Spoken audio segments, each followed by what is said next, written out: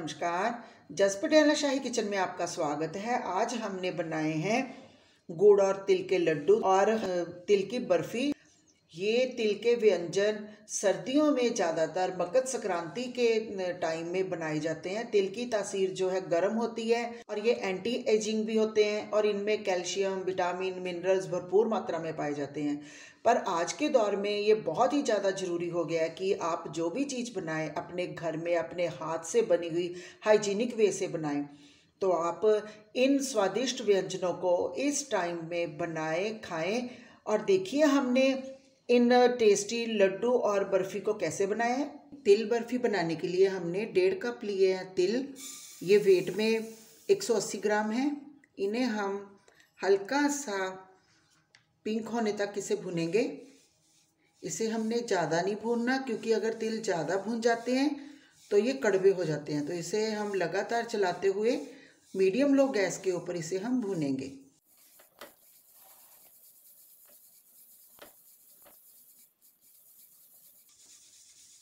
देखिए, तिल अच्छी तरह से भून चुके हैं, ये लाइट पिंक हो चुके हैं और इनमें से चटकने की आवाज़ भी आ रही है। तो अब हम इस स्टेज में गैस की फ्लेम को कर देंगे ऑफ़ इसे इन तिलों को हम निकाल देंगे एक प्लेट में ठंडा होने के लिए। फिर इसको हम पीस लेंगे दरदरा सा। तो सबसे पहले इसमें से हम दो चम्मच तिल के निकाल के अलग कर लेते हैं। तो अब हम इसे प्लेट में निकाल देंगे। अब हमने फिर से कढ़ाई को रख लिया गैस के ऊपर। गैस की फ्लेम को बिल्कुल कर देंगे लो पे। इसमें हम डालेंगे दो कप दूध के। ये मेज़रमेंट वही सेम है, जिस कप से मैंने तिल ली हैं तो दो कप दूध के डाल के डाल देंगे। एक कप चीनी है, जिसे मैंने ये बारीक पीस लिया और इसी में मैंने पाँच इलायची को पीस लिया। अब दूध में बॉयल आना शुरू हो गया है। गैस की फ्लेम को कर देंगे मीडियम पे और अब इसमें डाल देंगे छः चम्मच डेसिकेटेड कोकोनट के। तो इसे भी हम अच्छी तरह से हिला देंगे। अब हम इसमें डाल रहे हैं दो चम्मच ताज़ा दूध की मलाई। आप इसकी जगह पे मावा डालना चाहते हो तो मावा भी डाल सकते हो। अब हम इस स्टेज में डालेंगे इसमें दो चम्मच देसी घी के। दूध को उबलते हुए पाँच मिनट हो गए हैं तो हम गैस की फ्लेम को कर देंगे लो पे। हमने तिल को दरदरा सा पीस लिया था, वो डाल देंगे इसी में।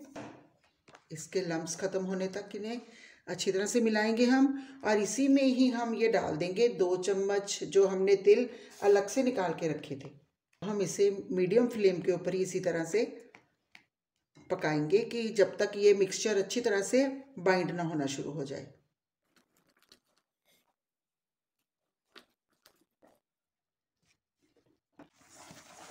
ये दस मिनट पकाने के बाद मिक्सचर गाढ़ा होना शुरू हो गया। बस अभी हम इसे दो मिनट और पकाएँगे। हम इसे निकाल लेंगे थाली में और जमने के लिए रख देंगे इसे।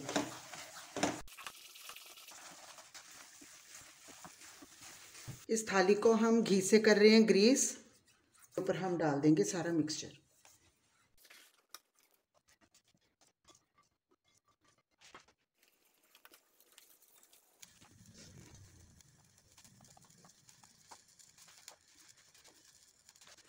हमने बर्फ़ी को अच्छी तरह से फैला लिया है। तो इसको हम करते हैं पिस्ताशियों से गार्निश। आप किसी भी ड्राई फ्रूट से इसे आप गार्निश कर सकते हो। अगर आप नहीं करना चाहते तो आप इसे स्किप भी कर सकते हो। अब इसे हम हल्का सा कर देंगे टैप और इसे रख देंगे हम एक घंटे के लिए साइड पे। तो फिर इसकी करेंगे अब कटिंग हम। के लड्डू बनाने के लिए हमने दो कप लिए हैं तिल। ये वेट में 200 ग्राम है। इसे हम पिंक होने तक अच्छी तरह से इसे हिलाएँगे। अब हमने गैस की फ्लेम को कर दिया है ऑफ़, क्योंकि हमारे तिल चटकने शुरू हो गए थे और इनका कलर भी चेंज हो चुका है। तो हम इसे रखते हैं अलग प्लेट में ठंडा होने के लिए। हम इनमें से हाफ़ तिलों को ग्राइंड करेंगे और हाफ़ तिलों को हम इस प्रकार ही रखेंगे। तिल के लड्डू, जिसे कि मकर संक्रांति पे बनाया जाता है, जिसे हम तिलकुट बोलते हैं। इसके लिए हमने लिया है एक कप दूध। में हमने डाल दिया इसमें एक कप मिल्क पाउडर अगर आप मिल्क पाउडर नहीं डालना चाहते तो आप मावा भी ले सकते हो। इसे हम अच्छी तरह से हिलाते हुए, जब तक इसमें से लम्ब्स ना ख़त्म हो जाएँ, इसे चलाते रहेंगे। अब हम इसमें दो चम्मच देसी घी के डाल देंगे।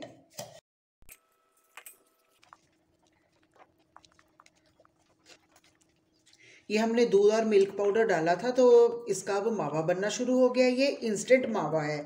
अगर आप इसमें बाज़ार से ला के मावा डालना चाहते हो तो उसे पहले भून के डालिए। अगर आप अपने घर में ही दूध से मावा बनाना चाहते हो तो आप दूध से भी मावा बना सकते हैं। इसको ज़्यादा हमने गाढ़ा नहीं करना। तो अब हम इस स्टेज में इसमें डाल रहे हैं जैगरी पाउडर। अगर आप चाहो तो आप गुड़ को भी अच्छी तरह से काट के डाल सकते हो बारीक टुकड़ों में। तो गैस की फ्लेम को आप बिल्कुल लो पे ही रखिए। तो अब हम डालेंगे इसमें। हमने तिल भी लिए थे दो कप और हम जैगरी पाउडर भी अब हम इसमें डालेंगे। दो कप डालेंगे। तो इसे भी अच्छी तरह से मिलाते हुए हम हिलाएँगे।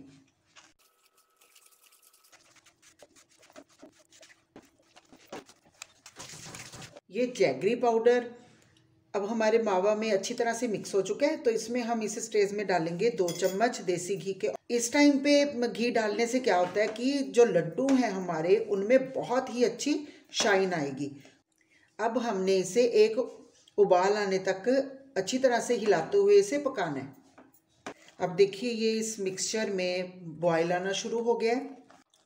अब हम इस स्टेज में इसमें डाल देंगे एक कप डेसिकेटेड कोकोनट आप चाहो तो आप, जो खोपरा होता है, सूखा नारियल, उसको भी आप कद्दूकस करके डाल सकते हो। तो अगर आपने उसको कद्दूकस करके डालना है तो उसे आप पहले हल्का सा भून लीजिए। इसे अच्छी तरह से मिक्स करेंगे। गैस की फ्लेम को हम लो पे ही रखेंगे। और अब हम इसमें डाल देंगे जो हमने तिल पीस के रखे हैं। और इसी के साथ जो हमने तिल थोड़े से ऐसे ही रख लिए थे, पीसे नहीं थे, वो भी हम इसमें डाल देंगे। तो इन सभी चीज़ों को हम कर देंगे मिक्स।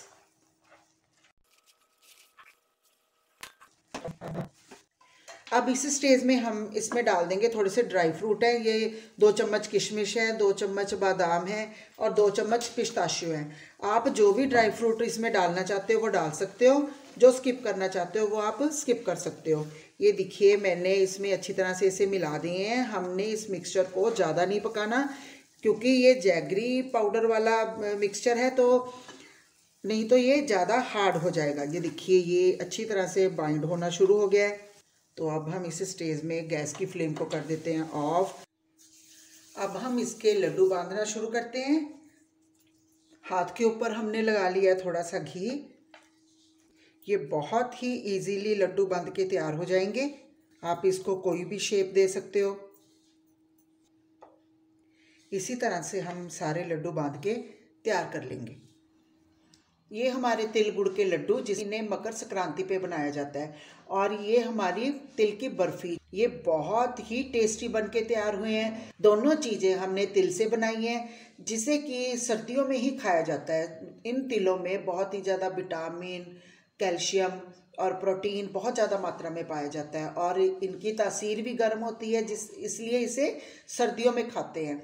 स्पेशली मकर संक्रांति पे इसके बहुत ही ज़्यादा व्यंजन बनते हैं। ये हमने जो तिल गुड़ के लड्डू बनाए हैं, सच में बहुत ही ज़्यादा टेस्टी बने हैं और जिस स्टाइल से मैंने इजी वे से बनाने सिखाए हैं, आप इन्हें अपने घर में बनाइए। ताकि इस दौर में हम जो भी चीज़ बनाएँ, अपने घर में, अपने हाथ से बनी हाइजीनिक वे से हम चीज़ें बना के खाएँ। आप इन्हें बनाइए, खाइए और अपने त्यौहार का मज़ा दुगना कीजिए। आप मेरी वीडियो को लाइक और शेयर कीजिए, चैनल को सब्सक्राइब कीजिए। मिलते हैं एक और नई वीडियो के साथ। मेरी वीडियो देखने के लिए धन्यवाद।